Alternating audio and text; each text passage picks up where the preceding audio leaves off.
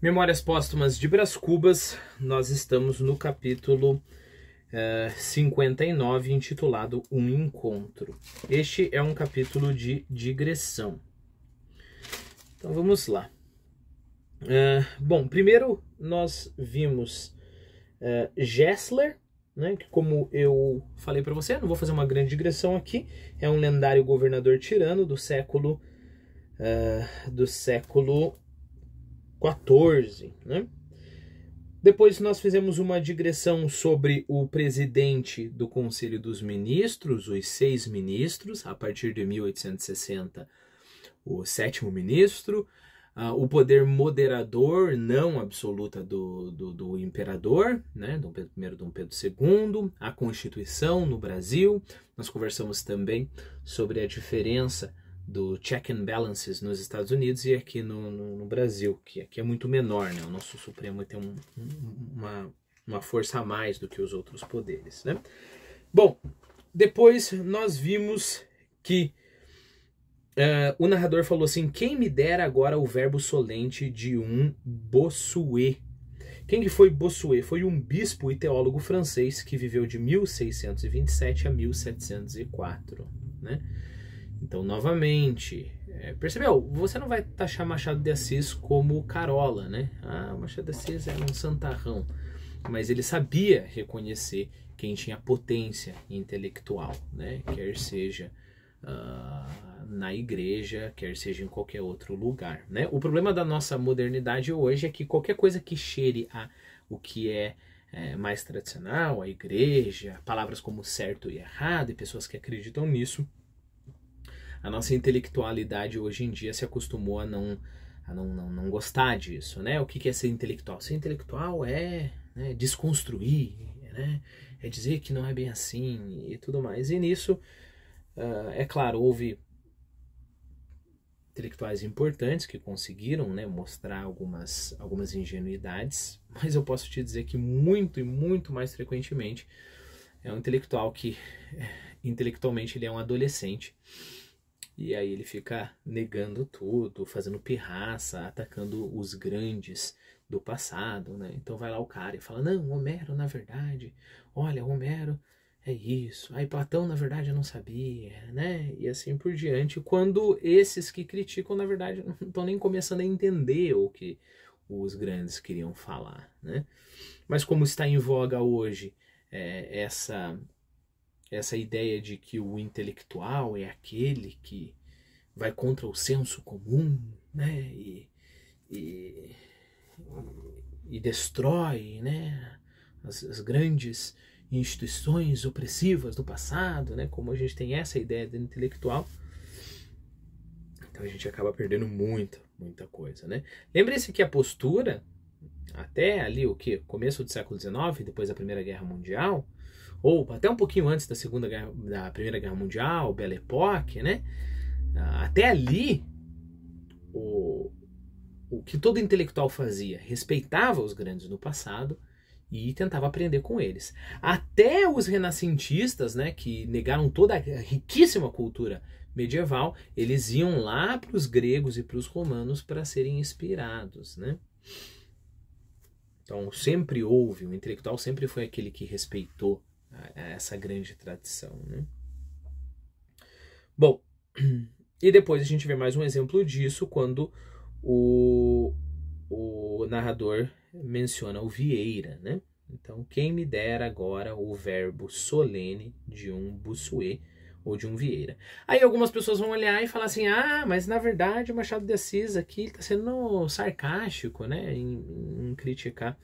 Ora, não preciso nem entrar nessa discussão com você. Eu só, só vamos reafirmar o fato que ele leu é, Bussuet e Vieira. Só isso. Né? Então, tudo bem. Ah, ele quer criticar o Vieira. Mas ele leu esses caras. Né? Ah, ele usa uh, várias passagens para criticar a Bíblia. Pode ser, mas ele leu e leu muito bem a Bíblia.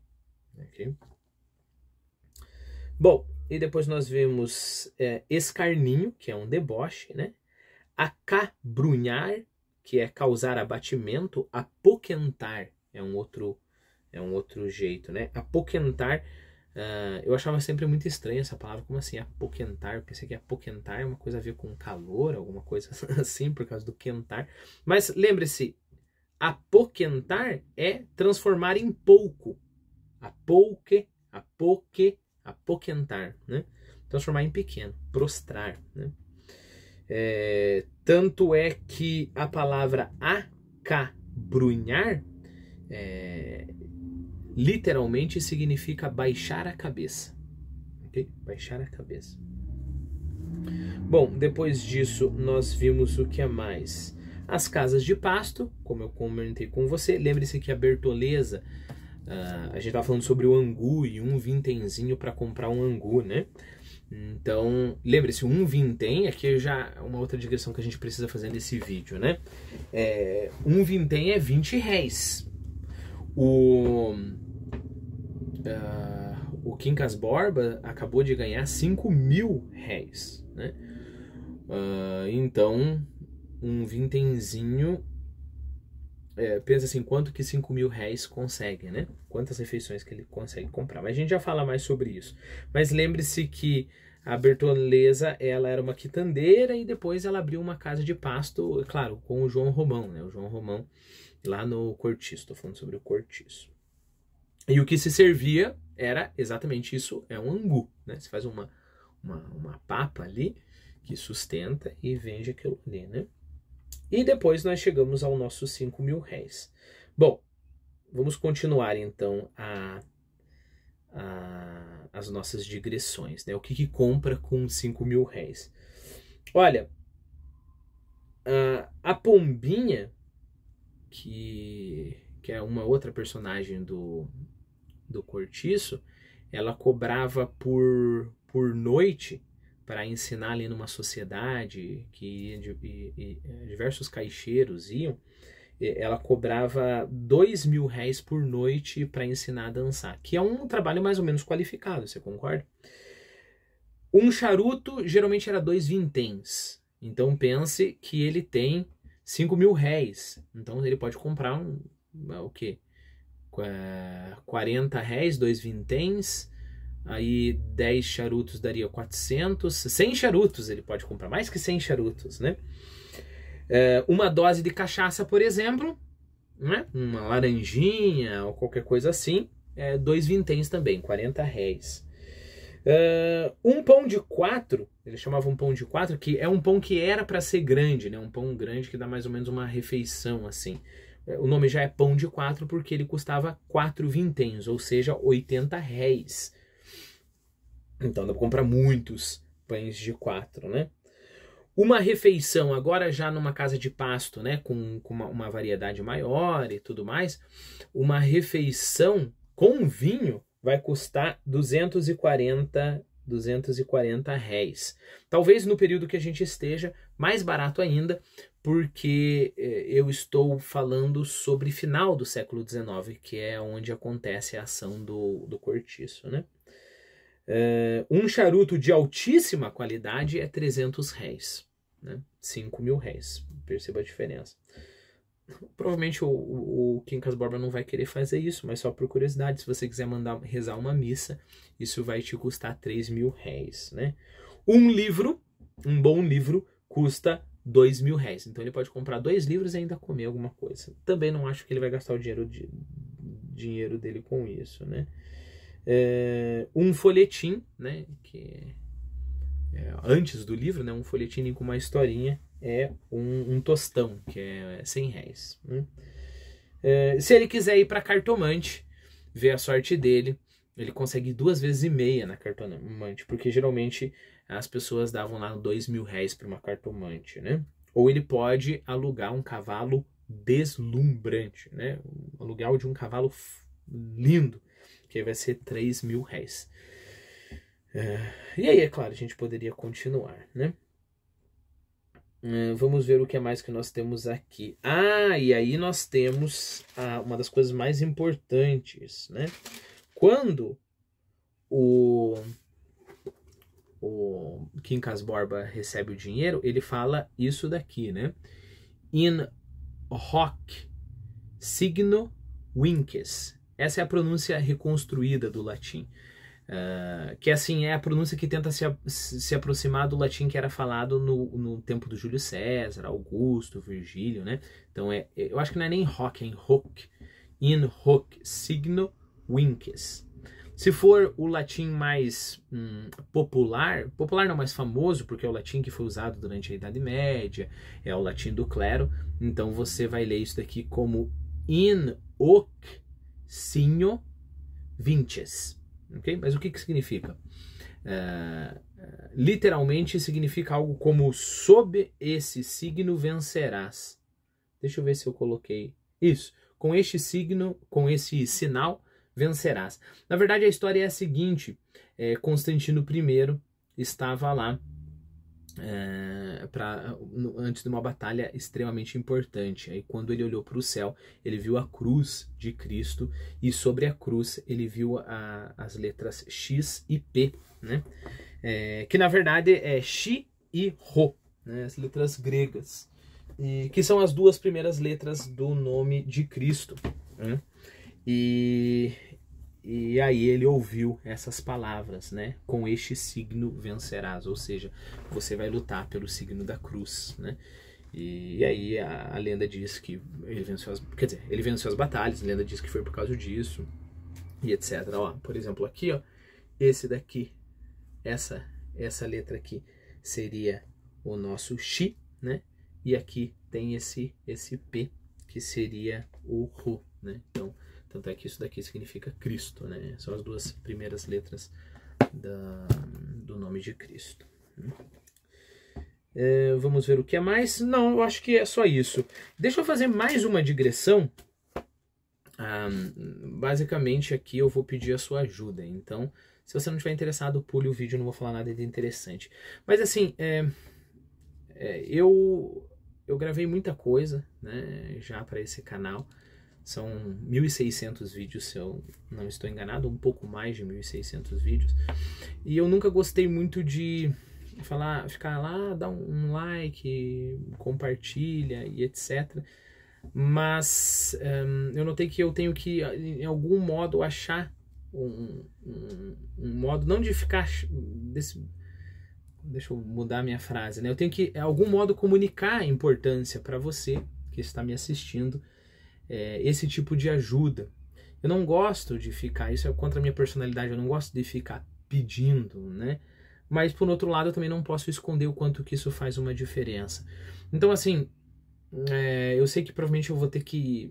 Não quero fazer esse discurso todo todo todo vídeo, então é mais ou menos um azar que você teve de pegar um vídeo que eu falei sobre isso, ou não sei se vou ter que fazer um vídeo curto, não sei como fazer isso, mas assim, eu não sei se você reparou, uh, o meu canal ele não tem esse apelo popular, né? Afinal de contas, esse já é o, é o centésimo terceiro vídeo que eu falo sobre um livro só.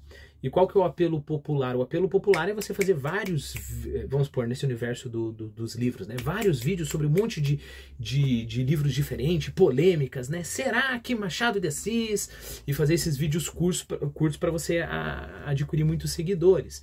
Não é o que eu tenho em mente. Eu tenho em mente, uh, uh, é claro, se eu conseguir seguidores eu quero. É, isso é importante, já vou falar com você sobre os meus planos. Mas assim, eu não posso é, digamos assim, prostituir o autor, né? O Machado de Assis está falando de coisas sérias aqui que demandam esforço, demanda esforço meu, e demanda esforço teu de assistir esses vídeos mais longos para explorar tudo isso, né?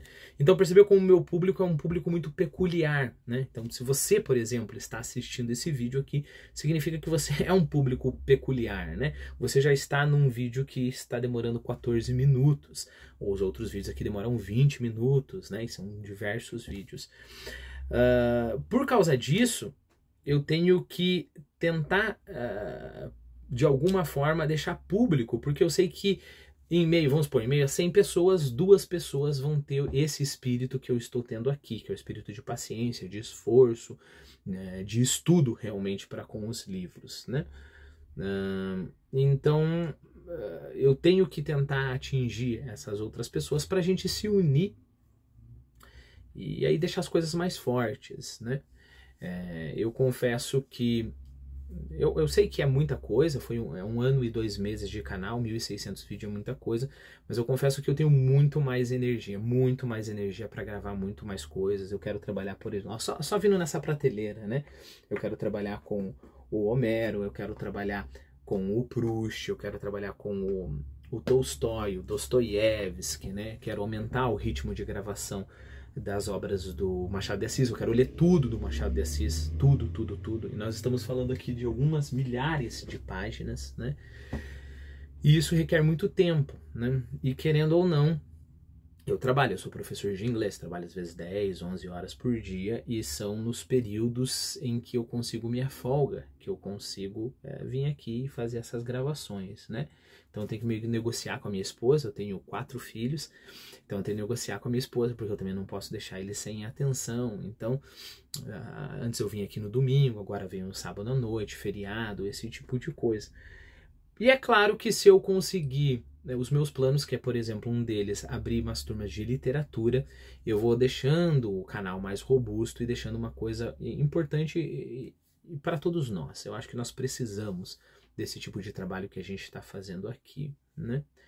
É, eu acho assim, várias, várias pessoas vão para a universidade, gastam lá 5, 6 anos é, para ficar longe da literatura, para pegar só aspectos técnicos da literatura. Não estou falando que isso não é importante, a universidade tem o, o trabalho dela, né? Mas eu estou falando que talvez 80% das pessoas que, que leem livros, talvez bem mais, 95%, eles não querem um trabalho técnico, eles querem chegar próximo da literatura, eles querem algo real. E é isso que eu quero fazer, né? Tanto nas minhas aulas que eu quero dar, quanto nos, nos vídeos que eu faço aqui para o canal, né? Mas como eu falei, então eu tenho que tentar atingir 100 pessoas para duas ter a, o fôlego e a energia para esse tipo de trabalho aqui, né? Por causa disso, eu te peço a ajuda, né? O modo como você puder ajudar, ah, assim, principalmente divulgando, compartilhando, conversando. É, fique antenado, me siga também no Instagram, que para o começo, lá por março é, do ano que vem, final de fevereiro, começo de março de 2022, eu vou abrir cursos de literatura. Né? Uma sobre o Machado, sobre o Dom Casmurro, o outro é a Montanha Mágica. Um terceiro que talvez aconteça é a Divina Comédia, né? Então, é, vamos juntar os esforços aí. Se você, é claro, comprou a ideia, né? Se não, ignore esse vídeo aqui esse finalzinho e continua assistindo o que puder, o que você, o que tiver te ajudando, o que for melhor. Mas uh, só quero dizer realmente que a ajuda é muito bem-vinda. A ajuda é muito bem-vinda. Se eu começo a entrar para essa área, eu consigo diminuindo a minha disponibilidade como professor de inglês e consigo uh, me aprofundando mais nessa área que, que é realmente a minha, a minha paixão. Bom, então fica aí o, o, o apelo.